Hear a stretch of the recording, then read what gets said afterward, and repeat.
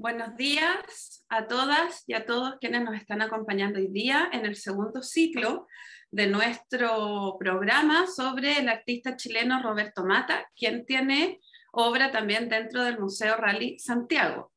Hoy día tenemos nuestra segunda sesión que se llama Revisión de su obra y su legado. Y tenemos el honor de contar con Milan Ivelich, quien es profesor en Teoría de Historia del Arte de la Pontificia Universidad Católica de Chile y exdirector del Museo Nacional de Bellas Artes. Milan, te quiero agradecer profundamente que hayas accedido a esta, a esta invitación, a estar hoy día con nosotros y poder deleitarnos con todo lo que sabes eh, acerca de Roberto Mata. Así que sin más, te doy la entrada. Le recuerdo también a quienes están con nosotros hoy día que está el chat habilitado para que al final de la sesión eh, puedan hacer sus preguntas y yo se las pueda traspasar a Milan para que pueda ir respondiendo algunas cosas. Así que Milan, muchas gracias. Bienvenido y todo el tiempo es para ti. Muy bien. Bueno, un saludo a todos los que han llegado a, a seguir esta charla sobre Roberto Mata. Siempre yo me pongo muy contento cuando hay gente que le interesa el arte.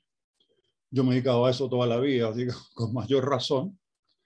Y, sin más, eh, entremos en materia.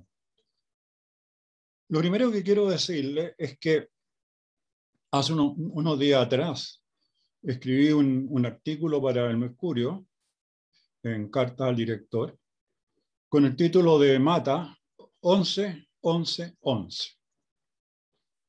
Y lo hice porque se cumplía un aniversario más del natalicio de Mata.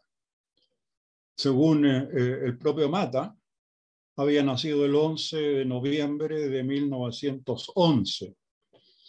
Y como tenía mucho sentido el humor, agregó a las 11 horas. A mí me pareció interesante eso. Yo no estaba muy seguro que haya nacido efectivamente en 1911, pero dije yo, abramos más el mito, el mito matiano. Se lo publiqué como les acabo de señalar con ese título. Pero dos días después, una persona, un lector de Mercurio, escribe que la fecha que yo había dado no correspondía al nacimiento de Mata, que él habría nacido en 1912 o sea, al año siguiente. Yo sabía que la fecha era improbable, pero me, pareció mágica. Pero resulta que este lector rompió la magia. Debió, no debió haber dicho nada. Además era un lector que era economista. O sea, ahondaba mucho en los números, pero no en el sentido mágico que tiene la vida y la existencia cosa que para Mata eh, es, era un valor incorporado a su propia existencia. Pero bueno, es un poco como anécdota. Por otra parte, hay que recordar que en el día de hoy, 23 de noviembre, es la fecha, el mes y el día en que falleció Mata, en el año 2002. O sea, lo, vivió 90, 92 años. Entonces, e, es fantástico que haya sido hoy día, ¿no? Que podamos hablar de Mata en esta fecha tan, tan importante como recuerdo a su trayectoria y, a su vida. Y quiero partir mostrándole esta imagen fotográfica de Mata, eh, y donde él está enfrentado a un cuadro, a una tela de grandes proporciones. Ya voy a explicar por qué. Yo calculo, no una foto que yo haya tomado de él, sino que la, tomé de, una fotografía que existía en algunos de los, de los catálogos que se hicieron. Yo calculo que debe haber tenido en ese momento unos 70 y algo años de edad. Y lo que me importa que destacar es que Mata está pintando colocando la tela clavada sobre el muro, sin bastidor, sin bastidor. La tela cruda la coloca sobre el muro y la retiene con, con, con algunos clavos, clavitos o clavos para poder pintar. Y esa va a ser una característica prácticamente de todas sus obras, salvo que sean de muy pequeño formato y donde necesita mantener la tela tensa para poder pintarla. Ahora, ¿cómo entender a este personaje? Él mismo dijo en alguna oportunidad, la pintura es difícil. No, es cuestión de enfrentarse a ella para ingresar al imaginario que él ha construido. Requiere reflexión, requiere tiempo, supone de partida un cierto interés de la persona que lo está mirando. Y digo un cierto interés porque uno puede pasar por la obra de Mata sin verla. ¿Y por qué? Porque, claro, no responde a, la pintura tradicional, en el sentido que yo miro una, pintura y veo un, paisaje. Y en ese paisaje, no sé, hay un lago, hay una casita y, y, punto, y es un paisaje en algún lugar del mundo. Pero claro, yo me enfrento a la obra de Mata y no veo eso. Entonces quedo con un gran signo de interrogación. Y es interesante porque, porque la pintura de Mata, la obra de Mata, sea, sea en la pintura, en el dibujo y en el grabado, es una pintura, un dibujo y un grabado interrogativo. No un grabado, dibujo y pintura afirmativo, en que yo mire, ah, sí, eh, eh, eh, es una pera, es una manzana, ah, es un retrato. Porque hay un personaje, puede hombre o mujer, un personaje, ¿no es cierto? Que yo con solo mirarlo digo que es un ser humano. A lo mejor no lo conozco, pero es la figura del ser humano que yo tengo permanentemente, como todos ustedes, en la cabeza, ¿no es cierto? Son las percepciones frecuentes. Salgo a la calle, miro un árbol, veo un automóvil, veo un semáforo, entonces yo pinto el semáforo, pinto el automóvil, pinto a la gente que va paseando o, ajetreada por, por la calle. Entonces no es un arte directo, tan directo que yo no tengo necesidad siquiera de pensar lo que estoy viendo. Entonces Mata nos va a decir que él no es un pintor, pero ¿cómo no es un pintor? Usted ha pintado tantas cosas a lo largo de su carrera, de tanta trayectoria. No. ¿Y qué es usted, Mata? Yo mismo se lo pregunté en una oportunidad en que tuve una entrevista con él en París. No, yo soy un vertor. ¿Y qué es eso? Yo doy a ver. Él inventa neologismos. Es un inventor de la palabra que es otra gracia que tiene este artista, ¿no?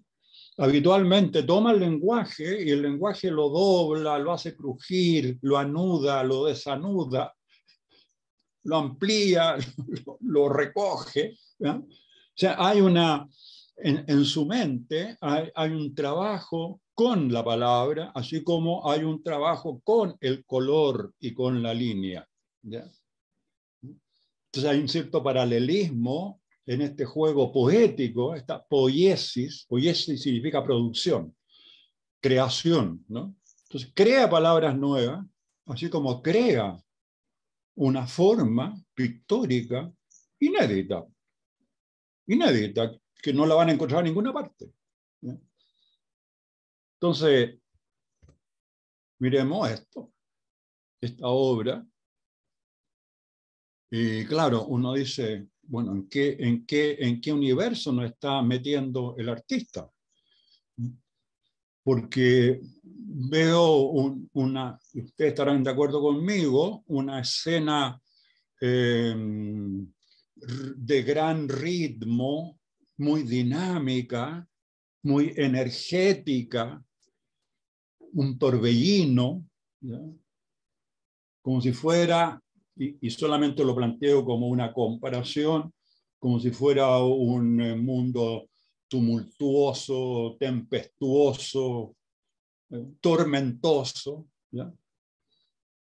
Y eso es muy importante entonces para que ustedes me entiendan, pues estas son de las primeras cosas que nos propone Mata, estoy hablando del año 1937, Mata nace el 12, suponiendo que esa sea la fecha exacta, eh, prácticamente Mata tiene 22 años. Y por lo tanto, su, su, trabajo inicial ya es un trabajo distinto. Si, si miráramos las obras, por ejemplo, de otros artistas chilenos, nunca se van a encontrar con un imaginario como el que les estoy mostrando y les seguiré mostrando hasta el término de esta charla. O sea, es completamente novedoso, innovador. Entonces, yo doy a ver, yo soy un vertor, no un pintor. Con lo cual no quiere decir que él condene a los que pintan y, representan una realidad conocida, ni mucho menos. Y él lo dice, ¿no? Los pintores tienen, cada uno tiene su propio, sus propias normas y desarrollan su propio juego. Yo también, yo tengo mi propio juego, pero mi juego no va por ese derrotero, sino que por otro. Y ese otro derrotero, él lo inventa. ¿Y cómo lo inventa? En base a pura intuición e imaginación. Y quiero destacar esto, intuición, que significa mirar profundo. Yo intuyo tal cosa, o sea, intuyo, creo que voy a penetrar a un mundo desconocido.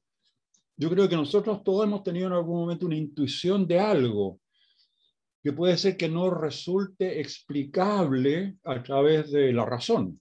Entonces, intuición más imaginación crea una dupla con la cual Mata convive y convivió durante toda su vida.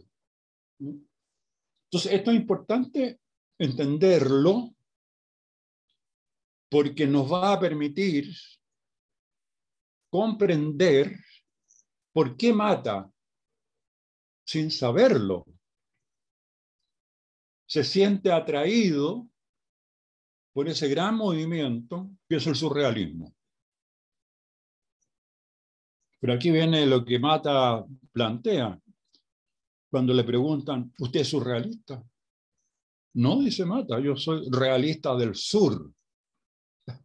Que es otra manera, da vuelta, invierte el proceso para situarse en una en un escenario territorial y geográfico distinto, tal vez por su procedencia y sus orígenes naturales eh, en Chile.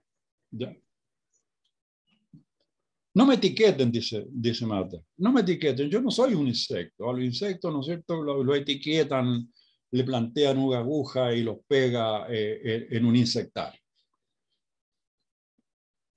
Entonces, él da vuelta a las cosas. ¿ah? E, es, él es un permanente em, renovador, no solamente del arte, sino que al mismo tiempo también de su propia vida. Por eso que para entender a Mata también hay que entender su biografía. Ningún artista puede, ¿no es cierto?, neutralizar su modo de ser en el mundo. ¿ya? Y, lo que, que, le ocurrió mientras vivió en Chile hasta, hasta que se fue a, Europa. O sea, prácticamente termina de estudiar arquitectura en la Universidad Católica de Chile y, y él emprende el rumbo para irse del país, para irse del país, separarse de su familia. Pero él estudió en los padres franceses. Y por lo tanto, hay una, un legado inicial eh, muy vinculado a, la religión católica, ¿no? Puesto que los padres franceses forman parte de una comunidad eh, relacionada, por cierto, con el, con el, con el mundo del, catolicismo. Entonces, quedan remanentes. Si usted pregunta hoy día en Guanimata, ¿fue un creyente? No, no fue un creyente. ¿no? En alguna oportunidad nos encontramos con Mata en, en Londres y yo estaba haciendo un, un, reportaje sobre artistas chilenos en un programa que se llamó Demoliendo el Muro, en el sentido que votar el muro para que la gente pueda pasar al otro lado y ojalá pueda comprender el mundo artístico. Y conversando con Mata en esa oportunidad, yo le pregunto, ¿y qué estás haciendo ahora, Roberto? Entonces él me dice, ¿sabes qué? Estoy preocupado por el ánima. El ánima. Sí, me dijo, el alma. Sí, pero, pero, pero tú no eres creyente. Pero hay algo, hay un espíritu, hay una situación interna del ser humano de la cual yo no me puedo abstraer. Y eso me ha preocupado además toda la vida, no es que ahora se me haya ocurrido. Porque en definitiva, me dice Mata, lo que yo intento, primero que nada, dar a ver, porque la gente no ve. La gente pasa de largo frente a la realidad. La gente no ve. No ve, empleo otro neologismo, no ve las escondideces, las cosas que nos ocultan y por lo tanto nunca nos enteramos cómo es efectivamente la realidad. Entonces yo quiero sacar ese secreto, ese ocultamiento, sacar esas escondideces para darlas a conocer. ¿no? ¿Y de qué escondideces estamos hablando? De todas las que forman parte de la condición humana. La vanidad, el egoísmo, la violencia, el poder.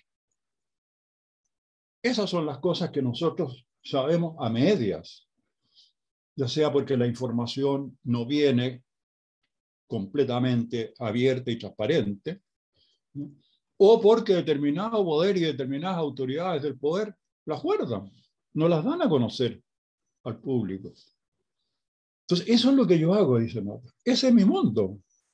Por eso que yo soy un vertor invito a la gente a que aprenda a ver y se dé cuenta que en ese ver se puede encontrar en definitiva con una verdad. Una verdad. Sí, me dice Mata, una verdad. Verdad. Dad a ver. otra manera, otra manera de eh, comprimir el lenguaje o exprimirlo para que sea capaz de significar otra cosa. Entonces, claro, cuando yo veo este, este, este, dibujo, porque es, es un dibujo eh, con lápices de colores, claro, la, primera pregunta que a ustedes se les viene a la mente y a mí en un comienzo fue, ¿qué es esto? ¿Dónde está el cielo? ¿Dónde está la tierra? ¿Dónde está la línea al horizonte? ¿Dónde está la profundidad? Porque en la pintura, eh, eh, que, es una ficción, eh, el, artista usa la perspectiva, ¿no es cierto?, para dar, llevar a no, llevarnos a un punto de fuga, ficcionando la idea de que la pintura, que es una superficie de dos dimensiones, ahora tiene tres dimensiones, una profundidad. Pero cuando uno ve un cuadro, no, el cuadro no tiene profundidad. un soporte plano como es una tela tiene dos superficies o dos dimensiones, un alto y un ancho, pero no una profundidad. una escultura tiene profundidad. Y, yo, la puedo entonces eh, circular eh, en, 360 grados, pero una pintura no. Y entonces aquí viene la primera cosa que mata eh, deja de lado la, geometría euclidiana de Euclides, del gran geómetra del mundo de la antigüedad clásica griega, y busca la manera de trabajar en una superficie que es plana. Entonces, es la primera cosa. Y por lo tanto, cuando uno mira este dibujo inicial, claro, ¿dónde, dónde encuentro yo eh, eh, un nivel de tierra y un nivel de cielo? No, no, no, no lo encuentro. O sea, el dibujo se me, se me expande, ¿ya? Esa otra cosa que es muy importante que la retengan, la expansión del espacio-tiempo. Y eso nos vincula a Einstein. Y Mata se interesó por la ley de la relatividad de Einstein. Esta relación entre el tiempo y el espacio, ¿ya? y la posibilidad de que hayan otras dimensiones, no, no solamente las tres dimensiones que son el alto, el ancho y la profundidad, sino que una cuarta que es el tiempo. Y eso lo obligó a él a, estudiar astrofísica. Como simple eh, persona preocupada de ampliar, de ampliar su conocimiento del universo, ya no solamente de la Tierra, del universo, no un conocimiento planetario, sino que extraplanetario, astral, podríamos decir, para poder comprender mejor. Porque si yo miro una cosa desde, desde un planeta y no de la Tierra, tengo otra dimensión espacial y temporal. Y si lo miro desde otra dirección, no sé, desde Venus, puedo tener otra mirada sobre lo que es una determinada realidad. Entonces, todo se me expande, todo se me amplía. Entonces, una obra que es centrífuga y no centrípeta, no es que se aplaste y se, y se cierre en sí misma, sino que se abre, se abre y se abre. Entonces, eso mismo lleva a Mata a pintar cada vez con una superficie más amplia. Cuadros que tienen 4 metros de alto por 10 metros de largo. Porque siente que si es, muy pequeño, la superficie que va a pintar, como que se comprime todo. Y él no, él siente que el, universo está en una expansión permanente, en, un, en una fuerza energética que no se detiene. En otras palabras, él se plantea eh, la reflexión sobre el ser como un ser en expansión, con un flujo permanente. Y luego eso significa que si yo llevo esta, estas, estas multidimensiones, esta polidimensionalidad del universo, lo llevo a mi propia y personal realidad, yo no puedo pretender detener la fuerza energética ¿no? que van dando cuenta del origen, del desarrollo y del crecimiento. Es cuestión de mirar una semilla, ¿cierto? Ahí está, plantada, comienza a crecer, sigue creciendo, sigue creciendo, se transforma en un árbol. ¿Y ese árbol qué ocurre? que llega un momento dado en que su desarrollo se detiene y comienza a declinar. Entonces, en este juego, en este juego dialéctico entre la vida y la muerte, entre lo orgánico y lo inorgánico, entre la temporalidad y la atemporalidad, hay una lucha permanente. Y en esta lucha permanente, la síntesis a la cual llega Mata es que el universo nunca se va a detener, que está en permanente expansión. Ahora bien, dicho eso, les quiero mostrar este otro dibujo sin título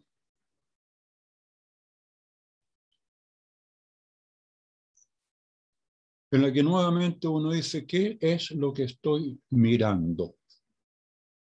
Y lo que estoy mirando no dice relación directa con lo que yo conozco. Claro, aquí podría, a diferencia del dibujo anterior, podría decir, sí, hay un alto y hay un bajo. O si ustedes quieren, aquí hay un cielo y aquí está la tierra.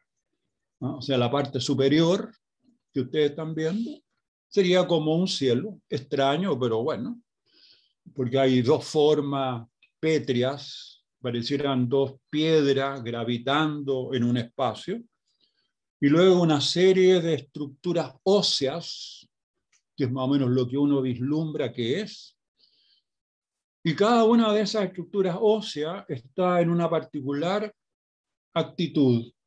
¿no? Como por ejemplo la que está al lado izquierdo, abajo, que pareciera ser una persona que está con las manos puestas sobre su cabeza, recibiendo a lo mejor el rayo del sol. como un día de vacaciones en cualquier playa de nuestro país. Y luego al centro hay dos estructuras óseas, más una tercera que está recostada.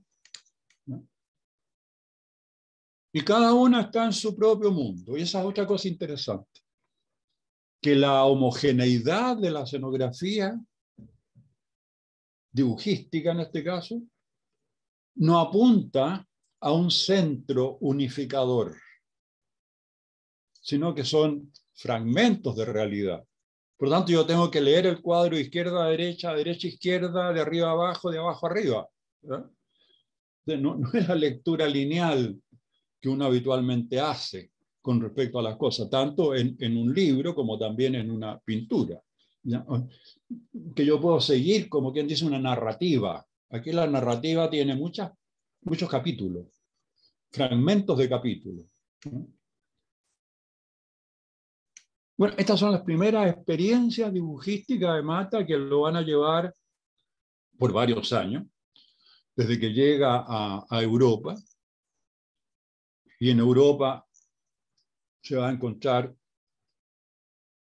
con París. Y claro, pensemos que estamos hablando de, la época del gran florecimiento del surrealismo. En París lleva una carta que había quedado escrita en, un libro que, le, que, le, que le fue regalado en España, en la cual eh, se recomendaba eh, las pinturas, perdón, los dibujos que estaba haciendo Mata. Federico García Lorca. Mata había hecho un, breve viaje a Madrid y toma contacto con Federico García Lorca, con Alberti, otro gran poeta español, y García Lorca quedó muy sorprendido al ver algunos dibujos que había hecho, había hecho. Le da mucho la atención, pero al mismo tiempo le interesó mucho, ¿no? Este niño, ¿cierto?, que escribe en verde, pues escribía con tinta verde como lo haría Neruda, quien también conoce en, España. Entonces, cuando él llega, ya abandonando Chile, a París, se presenta a Breton. No, no nos olvidemos, André Breton es quien fue el, el portaestandarte del movimiento surrealista. Él fue el primero que escribe un manifiesto en 1923 sobre lo que es lo que se llama el surrealismo, que es un término francés, surrealité, sobre la realidad, o sea, una realidad otra. Entonces Mata le muestra sus dibujos, lleva una carpeta con unos seis dibujos, y Mata lo mire, pero si esto es surrealismo. Y Mata lo miró absolutamente sorprendido. Nunca había escuchado la palabra. Él se da cuenta, como él mismo lo dice, yo era absolutamente ignorante.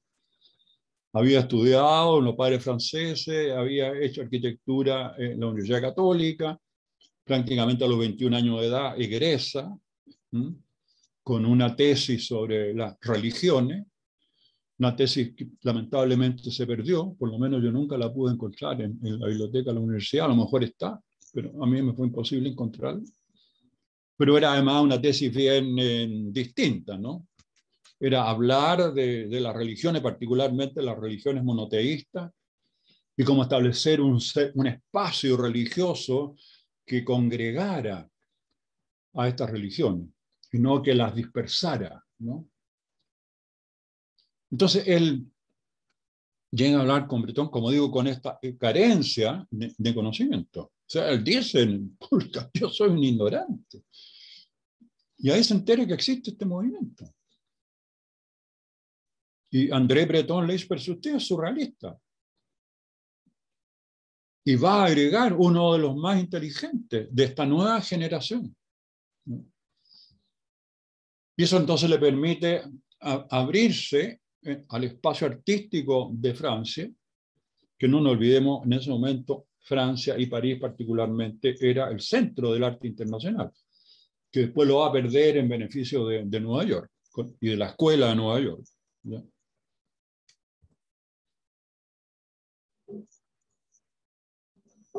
Y aquí su primera pintura. Él conoce a un eh, artista inglés que era marino al mismo tiempo, Gordon Oslo Ford. Se conocen, comparten talleres, conversan. Y este Gordon Onslow Ford le dice, ¿y usted por qué no, no pinta? Yo estoy viendo su dibujos y son maravillosos. Y ahí mata, estoy hablando de 1938, comienza a pintar.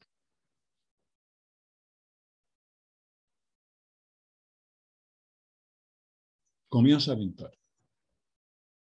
Y aquí tiene usted entonces este, este esta pintura que forma parte de una serie, de una serie que él va a titular Morfologías psicológicas. Morfologías psicológicas. ¿Y qué son estas morfologías psicológicas? Son verdaderos mapas del interior del ser humano. Entonces, él va a decir, yo, no, yo lo que hago son ser, fíjate, otro neologismo, sersaje, paisajes del ser. Lo que yo quiero es, cómo, puedo ingresar al interior del ser humano para conocer cómo surgen las ideas, cómo surge el lenguaje que me permite expresarme. pensamiento y palabra forman una unidad indisoluble. Yo en este momento estoy hablando, pero al mismo tiempo estoy pensando y estoy buscando las ideas que me permitan comunicarme con ustedes. Entonces, claro, uno mira esta morfología psicológica y se encuentra con que no hay nada que a uno lo lleve a una relación directa con la realidad, como lo dije al comenzar esta charla. O sea, él inventa una realidad otra, pero que nace de esta exploración a la que somete al cuerpo humano.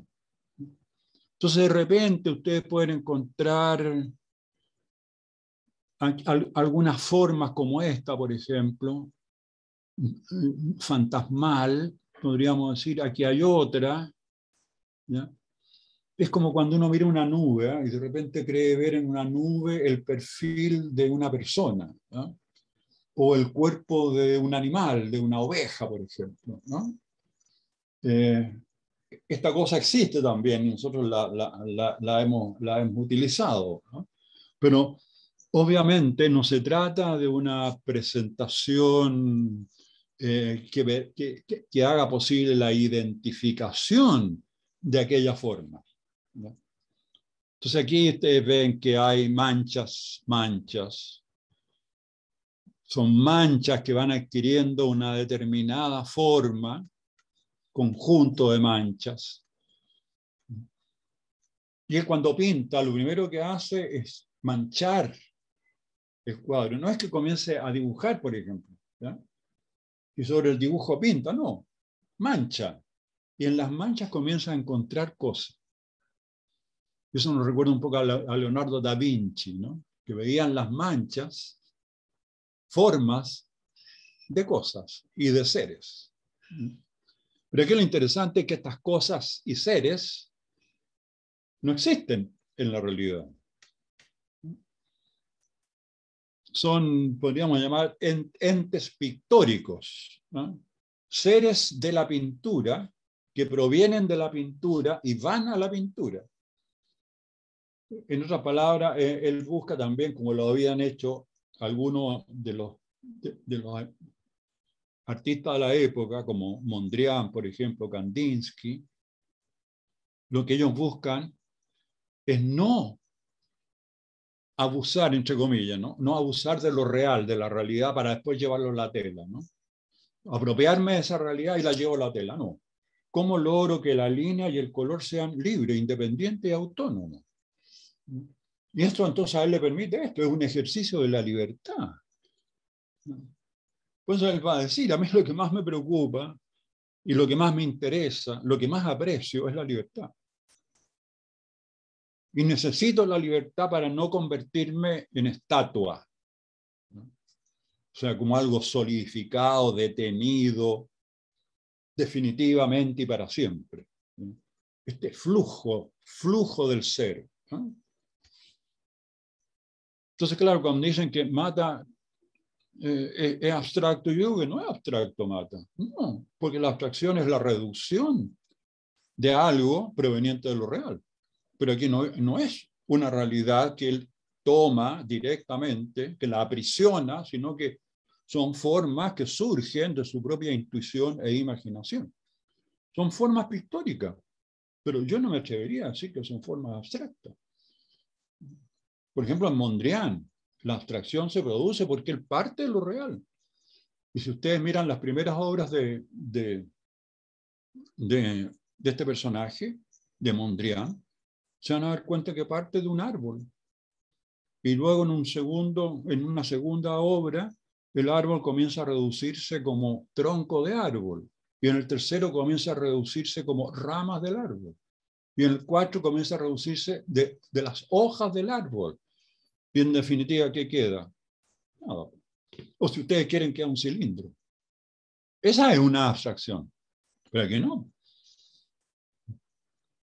Yo conjeturo, y es mi hipótesis, mi tesis, que Mata no es un pintor abstracto, porque pertenece a una forma que nace de sí mismo, pero como forma organizada psicológicamente, formalmente.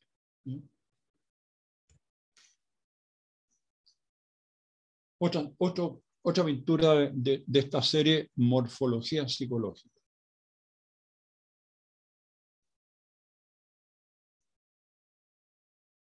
Entonces, ustedes pueden ver dónde están situadas. En un espacio otro, una espacialidad que no forma parte de la espacialidad que nosotros tenemos en la mente, como lo he dicho ya un par de veces, en que yo tengo un, cielo y una tierra y una línea al horizonte y un punto de fuga. Es una gravitación permanente, son, mejor dicho, son formas ingrávidas, son morfologías explosivas, en que hay una indefinición de lo que podríamos llamar la individualidad de cada una de las formas. ¿Qué es esto, por ejemplo? Esto que estoy mostrando con el ratón. ¿Qué es esto? Esto pareciera más cercano a algo que yo podría decir. Y hay algo que sí es necesario decir.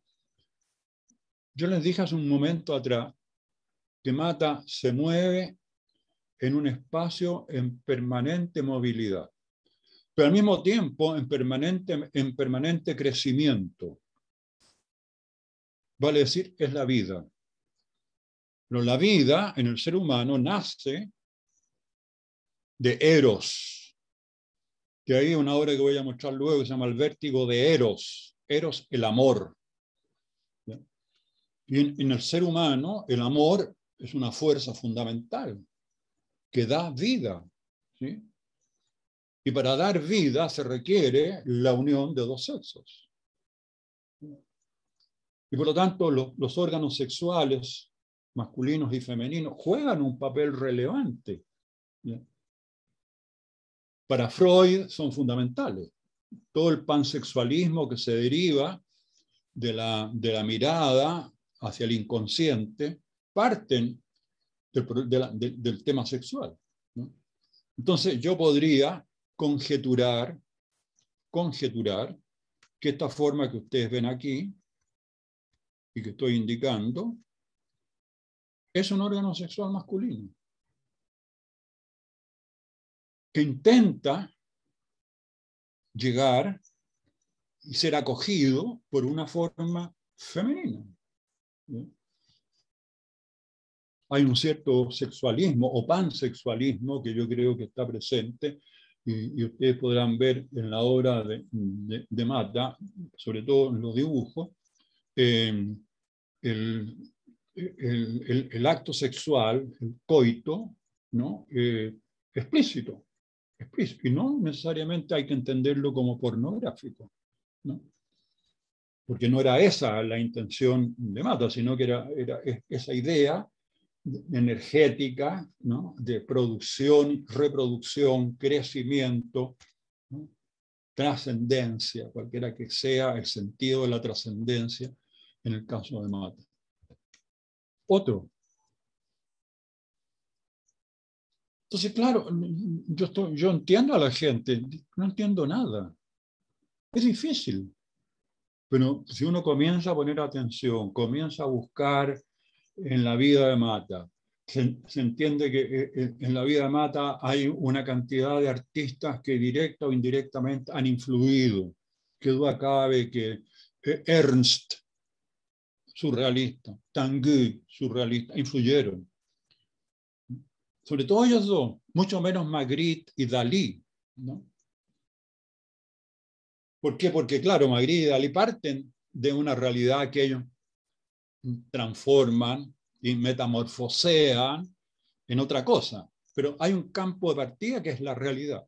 Entonces, Matan no, no sintió el mismo interés por la obra de ellos, pero sí de Tanguy y de Ernst. Y, y en parte, si uno empieza a comparar, y, eso daría, daría para otra charla, se va dando cuenta que sí, o sea, es cierto que las formas matianas son formas eh, originales, pero obviamente que hay algo, algo, hay, un, hay una herencia que está recibiendo, o mejor dicho, una educación que está recibiendo de sus propios contemporáneos. Porque él conoció a Ernst, conoció a Magritte, conoció a Tanguy, conoció a Dalí. De hecho, Dalí fue el que le dice, usted tiene que ir a hablar con, con Breton. Entonces, estas son las obras iniciales. Esta eh, es, la formas levitando, ingrávidas, en este espacio eh, en expansión. Podríamos eh, plantear la tesis que es un espacio en expansión como creación. Yo diría que tal vez, tal vez pero siempre en términos hipotéticos. O yo no, no, no, estoy seguro que lo que yo le estoy diciendo a usted sea la verdad absoluta. Algo hay, me imagino que sí, que corresponde un poco al análisis eh, de lo que uno supone que puede ingresar al mundo matiano. Ahora ustedes ven que en estas formas eh, ingrávidas en el espacio, hay algunas que tienen características de mayor solidez, como es esa, por ejemplo, que está hecha en función de la técnica más eh, realista, ¿ya? a través del, del, del, claro oscuro, que permite entonces como solidificar la forma, lo mismo que esta otra que está más abajo esta y esta serían las dos formas más eh, solidificadas, ¿no? Eh, más en, una tendencia pétrea. Él siempre dijo, a mí me interesa dejar la presencia de la piedra, tal cual, la piedra. O sea, algo hay en, el, mundo espacial que está más, más solidificado, que es más consistente. Lo demás parece ser más fugaz, más tenue, más sutil.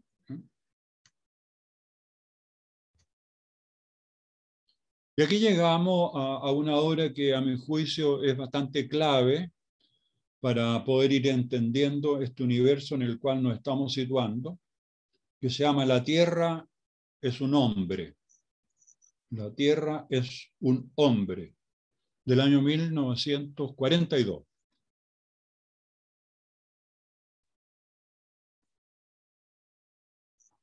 Observenla con detención. Este universo de las morfologías se hace más expansivo y reúne una cantidad de materiales bastante mayor que en los ejemplos de la morfología psicológica que les acabo de mostrar. volvemos a la, misma idea de un universo en expansión. O sea, yo creo que aquí la idea es mucho más amplia todavía, en el sentido de que él está mirando ahora al ser humano como un ser galáctico, eh, en esta dimensión que es fantástico porque va en relación a lo que está ocurriendo hoy día, ¿no? la posibilidad de los viajes espaciales. Fue, fue, premonitor en esto, pensando que sí, el ser humano podría salir de su particular planeta para explorar eh, otros mundos siderales. ¿no? Entonces, yo diría que aquí, y con esta obra, eh, comienza una nueva etapa, que es ya eh, una intuición universal, que va más allá del planeta Tierra. ¿sí?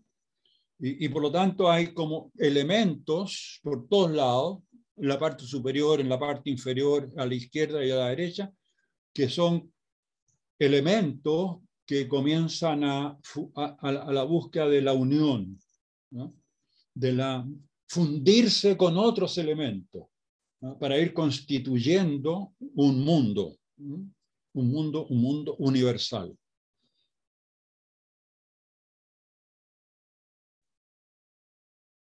La tierra es un hombre. El hombre es la tierra. La tierra es un hombre. Claro, en el sentido que la tierra nos pertenece. ¿sí?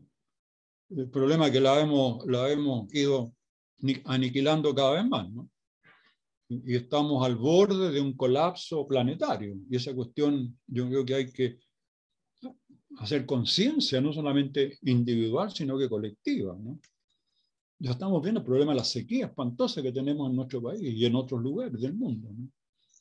Las emigraciones constantes, la gente se está muriendo de hambre, tiene que buscar nuevos lugares pero ya los nuevos lugares van desapareciendo. También hay un poco esta idea, no sé si la tuvo de manera muy, muy consciente, del cuidado del planeta que nos ha tocado para vivir en él. Y esta obra la hace ya no en, en París, sino que en Nueva York. Como consecuencia del inicio de la Segunda Guerra Mundial, 1939 a 1945, mata, como otros artistas, el propio Marcel Duchamp, el propio André Breton, el propio Mondrian, se exilian en los Estados Unidos a partir de 1939. Por lo tanto, él está en Nueva York.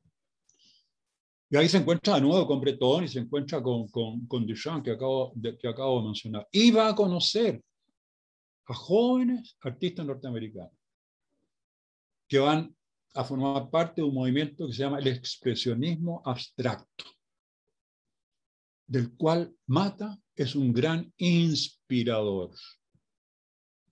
Estos jóvenes artistas norteamericanos, como Jackson Pollock, por ejemplo, Motherwell, con el cual va a hacer un viaje a México,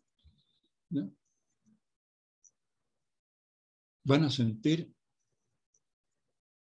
un profundo interés en cómo Mata piensa y trabaja.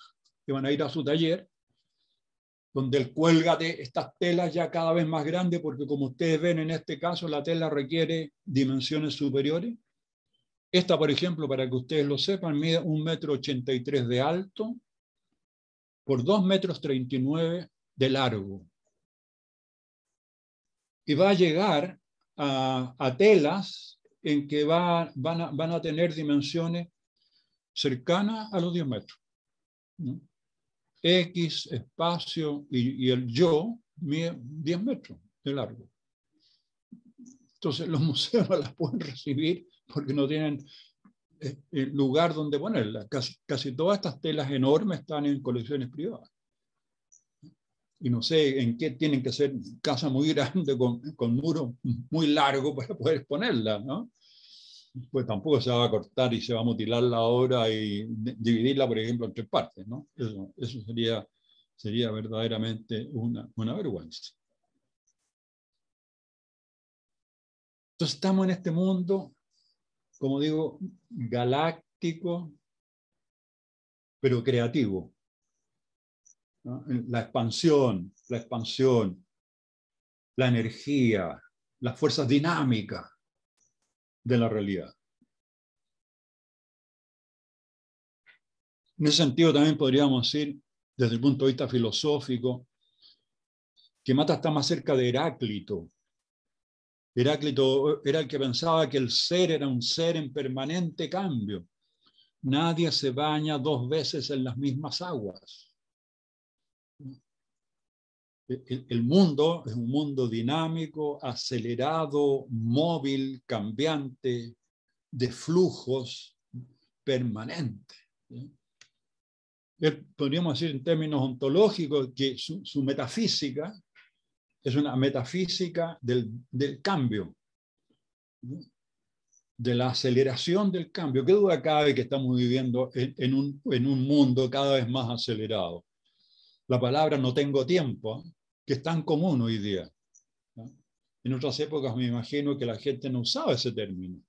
La vida era más lenta, más tranquila, menos, menos movilizada, cada vez más autos, cada vez más aviones, hacerlos cada vez más rápido. Si, si queríamos, qué sé yo, cuando aparecieron los primeros trenes tenían 40 kilómetros por hora, en la época en que comienza la revolución industrial. Hoy día uno puede tomar eh, un, tren y, que corre a, 200 kilómetros por hora. Y siempre uno está apurado, ¿no? El reloj se transforma ya no en un instrumento agregado, sino que pareciera que forma parte del propio cuerpo, ¿no? Bien, continuamos. Esta para mí es una segunda obra clave. El vértigo de Eros, de 1944. El vértigo de Eros es también un metro 97 de alto por 2 metros 51 de, de, de ancho, alto y ancho. Fue adquirida por el Museo de Arte Moderno de Nueva York, el MoMA, que lo adquirió. O sea, prácticamente no alcanzó a salir del taller. Y fue adquirido. O sea, muy buen ojo tuvieron la gente del, MoMA adquirirlo y está en exhibición permanente hasta el día de hoy. Por lo menos, eso es lo que yo he sabido. No sé si en algún momento lo sacaron, que yo, para evitar la sala, no tengo idea, pero es una obra permanente, de permanente exhibición desde el año 1944. El vértigo de Eros. Eros, el amor. Mundo en, formación. Y aquí hay algo muy importante también. Yo les hablaba de la mancha, ¿no? Como una, como un, como una, una estrategia, una estrategia de establecer el conjunto de direcciones y orientaciones que va adquiriendo el espacio. Y aquí se manifiesta de forma muy explícita este tejido de hilos o de líneas que van en todas direcciones. Entonces, fíjense ustedes, por ejemplo, aquí en la parte, su, la parte de abajo, donde hay eh, un, movimiento circular ¿no? que, va, que va creando y desarrollando estas formas, que podrían llamarnos las formas iniciales o los orígenes, ¿ya? Y luego estas líneas van adquiriendo otras direcciones y orientaciones, incorporando estas formas luminosas, sólidas, como ustedes ven ahí, una, dos y tres. ¿ya? Que lo veíamos al comienzo. Necesita de tener en algún momento y yo creo que es propio del ser humano también, cuando uno dice, ya está, estoy agotado, quedemos hasta aquí, detengámonos. estabilicémonos, que fue lo que hizo Cézanne en relación con el impresionismo. Los artistas impresionistas, Monet, por ejemplo, eran pintores del momento, de lo fugaz, de lo cambiante, ¿no? Entonces, Monet pinta 42 veces la Catedral de Rouen y ninguna es igual a la otra. Porque el problema del impresionismo es la dirección del rayo de, luz que cae sobre los cuerpos. Y si el rayo de luz cae eh, perpendicularmente, la cantidad de luz es mayor. Si cae diagonalmente es menor. Y si cae tangencialmente, casi no hay luz. Casi no hay luz. Entonces, si yo miro la cordillera y la pinto en la mañana, y después a mediodía, y después en la tarde, voy a tener tres cordilleras de los Andes. Es decir, es la misma cordillera, en el sentido que su configuración eh, colórica cambia. Cambia.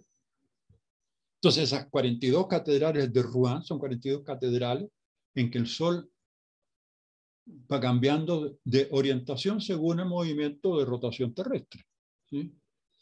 Entonces él iba con su caballete y llevaba varias telas, se instalaba frente a la catedral, no es que inventara, se trasladaba a fuente y una observación aguda, una observación empírica, le permitió entonces captar la coloración. Entonces el mundo se transformó en un mundo fugaz, cambiante. Entonces Cézanne, que ingresa al mundo impresionista, dice, no, tiene que haber algo que sostenga, que, permita que las cosas sean, no, no sean móviles, sino que queden inmóviles. Entonces, el problema entonces no es solamente el problema de la luz, también es, el problema de la forma como se estructuran los cuerpos. Los cuerpos se estructuran en función a la forma geométrica. El cono, el cilindro, la esfera, etcétera, el triángulo, el cuadrado, el círculo. Esa, esa forma se detiene.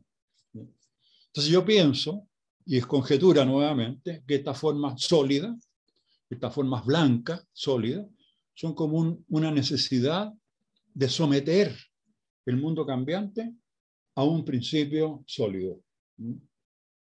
O a lo mejor son las formas planetarias que comienzan a surgir, como fruto de este movimiento incesante del mundo cósmico. ¿no? Entonces, nuevamente, ¿qué espacio es este? Un espacio sideral. ¿Cómo es la luz? Astral, pues no es la luz solar, es la luz astral que proviene de los propios astros, pero no solamente de, la luz solar. Y eso no crean ustedes que fue una pura invención, sino que también su estudio en astrofísica y los estudios que hace de la ciencia, porque se dedicó a eso para aprender, pues se dio cuenta de su ignorancia, necesitaba responder las propias interrogantes que él se hacía en su inquietud mental. ¿no?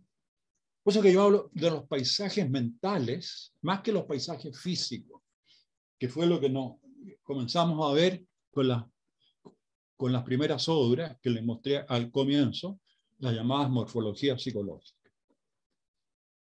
Y también lo que señalaba, ¿no? Uno necesita colocarse en distintos puntos de vista. Aquí tienen uno un punto de vista. Aquí hay otro punto de vista. Aquí hay otro. Aquí ya hay una forma más aplanada, como que se estabiliza. Después aquí también. Y finalmente aquí hay una especie de cubo que se va abriendo. Y eso fue muy importante para Mata. Él siente que el cubo, cuando yo lo cierro, es como un encierro, como un enclaustramiento. Como que el ser humano al refugiarse en sí mismo, se cierra al mundo. Entonces la idea fue el cubo abierto. Tanto es así que él pensó en un momento dado hacer un cubo gigante, digamos, con la, con la escala humana, donde todo, todos sus lados, todos sus lados, estuvieran pintados por dentro. Y que uno pudiera ingresar para encontrarse con la pintura. a, él le pareció que eso permitiría un encuentro total con la pintura. Por eso que yo tiendo a, a comparar el yo pienso luego existo, de Descartes, con lo que yo creo que podría ser el yo pinto, luego soy, de Mata. Esa, esa, necesidad matiana de poder enfrentarse y confrontarse con la pintura. No mirarla desde afuera como uno mira los cuadros, ¿no es cierto? Sino que penetrar en el cuadro, ingresar a ese cuadro. Entonces se le ocurre esta idea del cubo. Bien.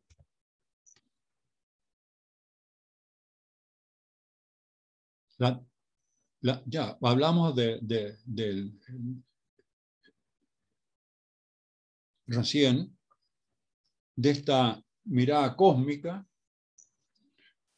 eh, en la que aparece esta otra obra que se llama El día es un atentado. El día es un atentado.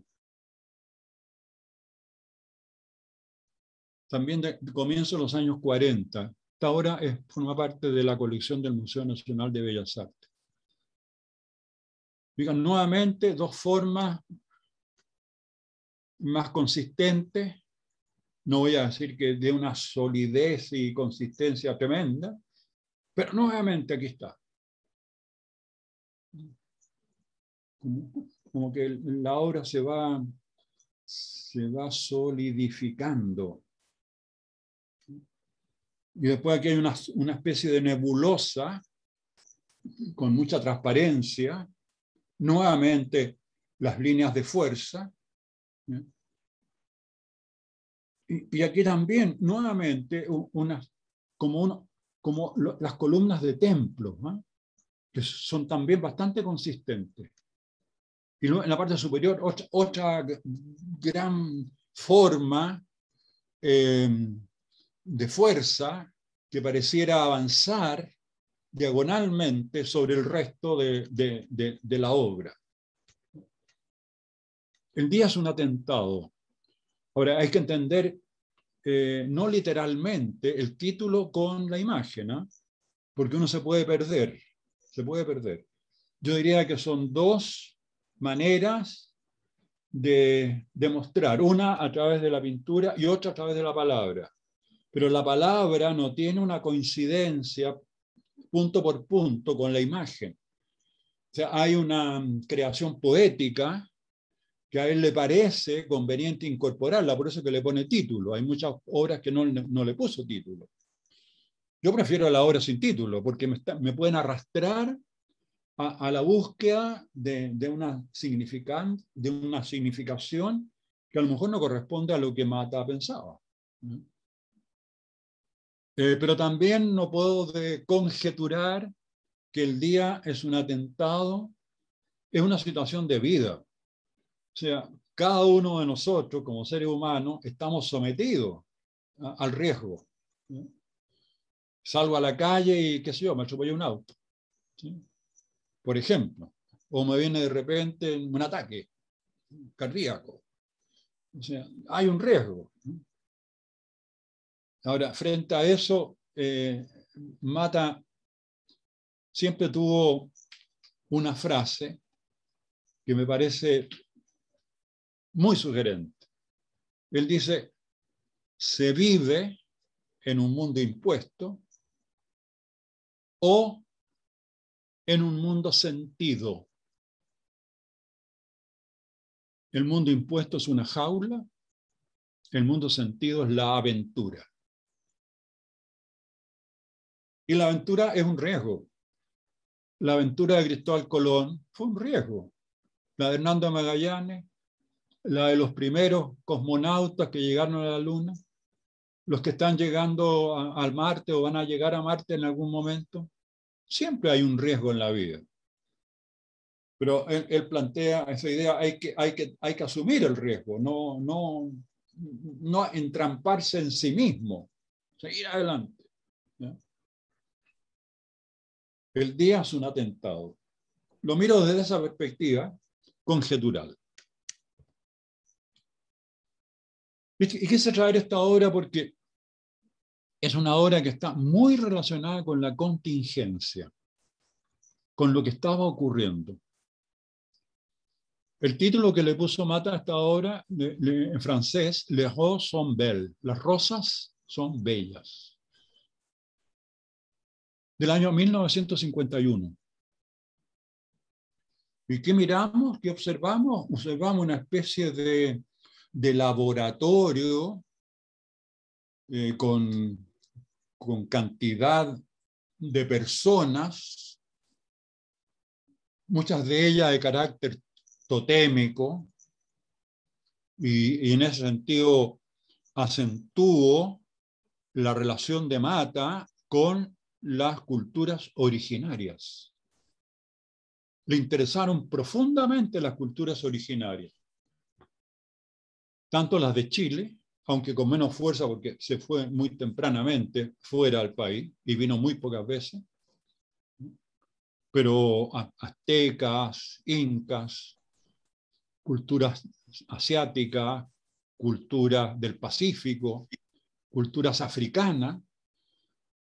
De hecho, por ejemplo, en, su casa, en, en, París, tiene una cantidad de esculturas provenientes del mundo africano, algunas del mundo precolombino. Y las tiene muy, muy cerca de su lugar donde él trabajaba. Él siente eh, esa necesidad de explorar los orígenes, lo que nosotros llamaríamos la cosmogonía, que se expresa en los mitos. Otra cuestión que a él le importó muchísimo, la mitología, para encontrarse con esas culturas primarias, desde donde surge todo, definitivamente. Entonces estas figuras totémicas, como esta, por ejemplo, que está aquí, o como estas que están detenidas, inmovilizadas, solo observando, observadores del mundo. ¿no? Y él tiene una nueva palabra para eso, vertor. Como yo doy a ver, yo soy un vertor, no un pintor. Doy a ver, vertor. Y como la gente no ve, fácilmente cae en la mentira, en el fraude, en el engaño.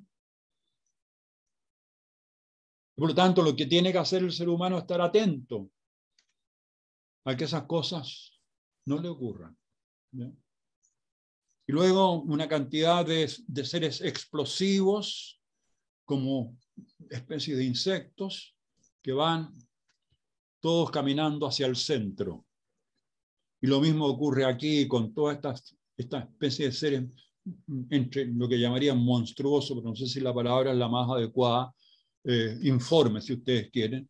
¿no? Y después unos tableros que hay aquí, tipo tableros de computaciones de las primeras computadoras que eran en sala gigante. Y un personaje esposado que está aquí. Y otros que alzan el puño hacia arriba y otros hacia abajo, un poco la señal ¿no? del dedo pulgar en la época de los romanos para, para liberar o matar a la persona. Las rosas son bellas. ¿De qué se trata esto? Fue un juicio que se le hizo a un matrimonio. Ethel y Julius Rosenberg, marido y mujer, que fueron condenados a la pena de muerte en la silla eléctrica por espiar contra Estados Unidos. Estamos en plena Guerra Fría, pues no se olviden. Termina la, Segunda Guerra Mundial hasta el 45 y comienza la Guerra Fría. Este, esta inestabilidad estable o esta estabilidad inestable, como ustedes quieran, entre la Unión Soviética y los Estados Unidos y entonces van espías para allá y van espías para acá, y, el espionaje y el contraespionaje y el requete contraespionaje aparecen incluso en el cine, pues Hollywood hizo muchas películas sobre ese periodo. Y ellos fueron acusados de entregar planos secretos a la Unión Soviética y los condenaron a la pena de muerte. Ellos nunca reconocieron que eran culpables, nunca. Fue una situación muy tensa y ahí aparece un hermano de Ethel, de la mujer, que acusa a su propia hermana de sí, de estar complotando contra los Estados Unidos. Entonces Mata, enterado de este acontecimiento, hace esta obra. Entonces, las rosas son bellas. Rose, Rosenberg, hay un juego, hay un juego lingüístico ahí, ¿no? Ros, Rosenberg, son bell, pero aquí no son nada de bella. Tal vez el mismo título es como una muestra antagónica ¿no? de lo que a ellos les ocurre. O sea, todo este aparataje condenatorio, claro, muestra lo, lo, feo, ¿no? lo horrible de, de, la existencia. En cambio, el de Rosenbell, las rosas son bellas, es, otra, otra cosa, ¿no? Es, es, es, una nueva forma dialéctica de representar dos espacios, uno positivo, uno bello y el otro nauseabundo, ¿no? De, de maldad, de odio, de violencia. Bien, yo le decía que Mata tuvo mucho sentido del humor. Y en esta obra que se llama La Banal de Venecia, en vez de la Bienal de Venecia, que se hace cada dos años, bienal, trienal, cuatrienal, etc., la Bienal de Venecia, que dura hasta el día de hoy, Mata, eh, se torna absolutamente cómico y va mostrando a este personaje creado por él, que es una manera de hacer figurar al ser humano, pero, pero desde su personal mirada, ¿no? Y ustedes ven entonces que hay algunos personajes más intrépidos, por darle un nombre, como sería este personaje, más movido, ¿ya? otros personajes muy quietos, como esos de arriba, o este personaje que es fantástico, eh, que pinta un cuadro donde hay solo una línea amarilla, ¿no? En una, en una postura de meditación total. ¿ya? Yo podría asemejarlo a, Malevich o al mismo Mondrian. Así como este otro eh, practica el puntillismo o neoimpresionismo, que fue una corriente del propio impresionismo, pero en base a puntitos de color, ¿no? caso de Serrat, por ejemplo, Signac. O bien la, geometrización total, la geometrización total de, Mondrian. O sea, cada cuadro dando cuenta de una manera de pintar en la época en que a él le correspondió vivir.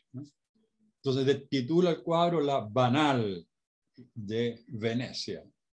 Y, la palabra banal es eso, la banalidad, ¿no? Un poco el transformar eh, eh, un, un, hecho o un, o un, acontecimiento en algo superficial, ¿no? No sé si tenía él una particular eh, anima, con respecto a la Bienal. No recuerdo que él haya sido invitado. Por ahí puede andar un poco el problema. Y si nos acercamos un poco más a nuestro tiempo, tenemos esta obra, Fango original, Ojo con los desarrolladores.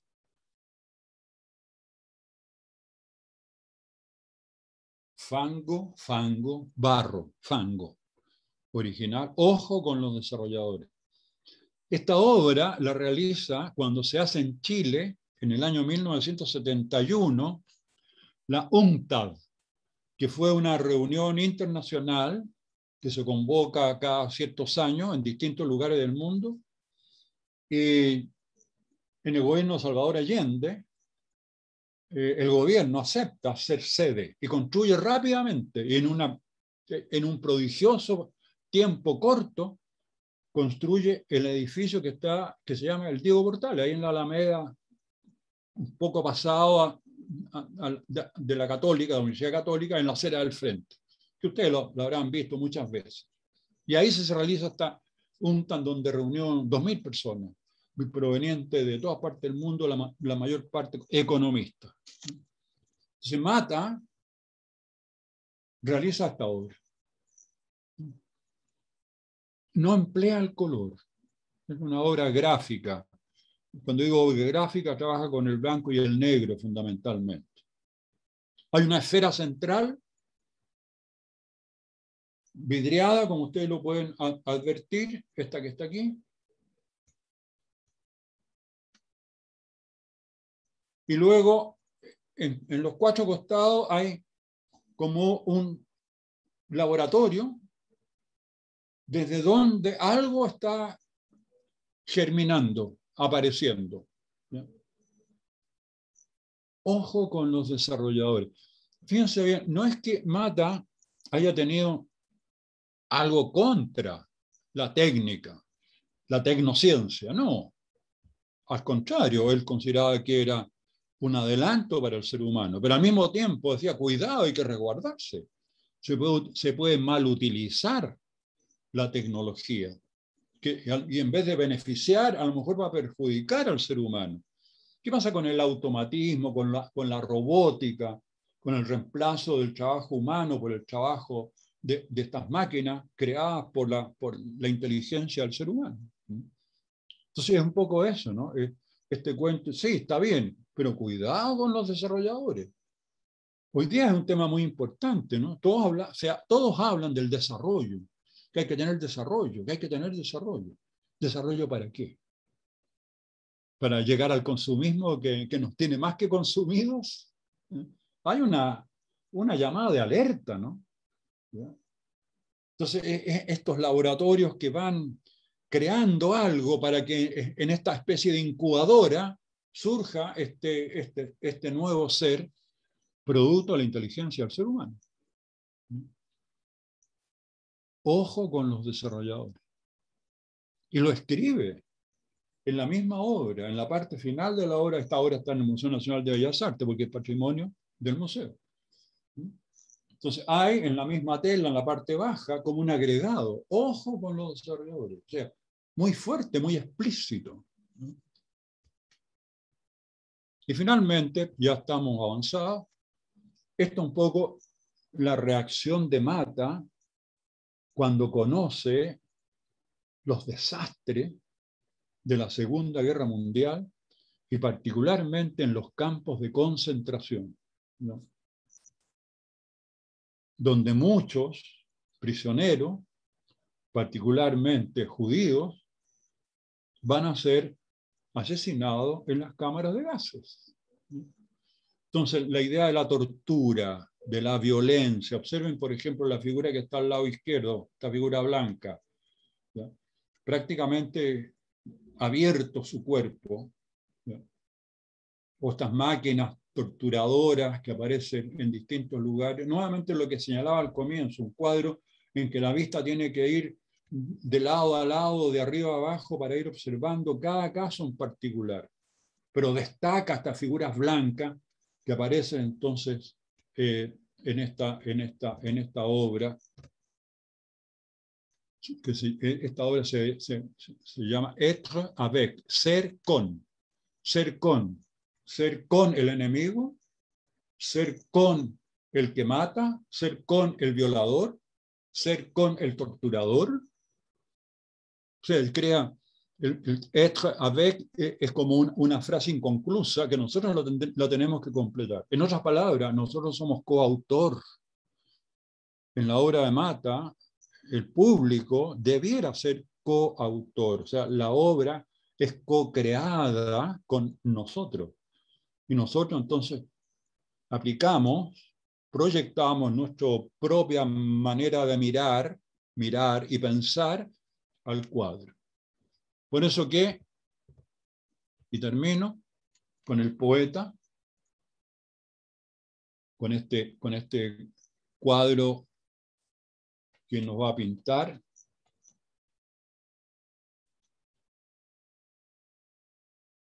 en la que aparece esta, este personaje mitológico, es un invento matiano, este personaje mitológico, que tiene en sus manos lo que aparentemente es una pistola o un revólver, pero en cuyo cañón hay una cerradura. Hay una cerradura.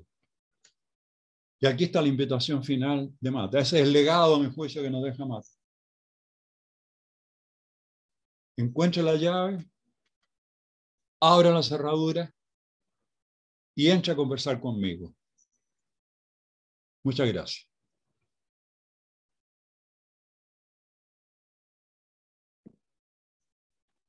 Milan, realmente ha sido una charla excepcional sobre Mata. Te has pasado con tu generosidad. Tenemos millones de comentarios en el chat. Eh, solo felicitaciones, agradecimientos, eh, tu visión eh, cosmogónica también de la obra de Roberto Mata y la sutileza con la que has compartido toda tu expertise ha sido impresionante. Tenemos muchos comentarios que te voy a hacer llegar en privado. Em, nosotros eh, tenemos, bueno, algunas preguntas que también te haré llegar en privado porque estamos un poco eh, sobre la hora que acordamos y sabemos que estás súper ocupado y, y, queremos respetar tu tiempo y nuestra invitación. Así que em, en nombre de todas y todos quienes están presentes, simplemente agradecerte la experiencia inolvidable que hemos tenido hoy con respecto a toda la revisión que has hecho con el artista chileno Roberto Mata y las obras que incluiste y cómo nos invitaste, ¿cierto?, a conocerlas. No sé si tú quieres agregar algo más. No, simplemente agradecerte a ti, a la universidad y al museo, el que me hayan invitado estoy a su disposición. Pues el día de mañana, si quieren algo nuevo o lo mismo o ampliar lo que ya dije, porque la verdad que hablar de mata podríamos estar mucho tiempo. Eso sería. Pues. Sí, es verdad. Milan, muchas gracias. Siguen llegando muchos comentarios. Está la gente muy feliz de volverte a escuchar eh, y dicen que es un regalo maravilloso eh, haber tenido este encuentro hoy día contigo. Así que nuevamente, a nombre de la Extensión Cultural de la Universidad Finisterras y del Museo Rally, te extiendo nuestro agradecimiento y gratitud. Muy bien. Un gusto verte. ¿eh? Saludos. Igualmente, Milan, un abrazo grande, que estés muy bien. Nos contactamos por interno. Van a mandar cosas para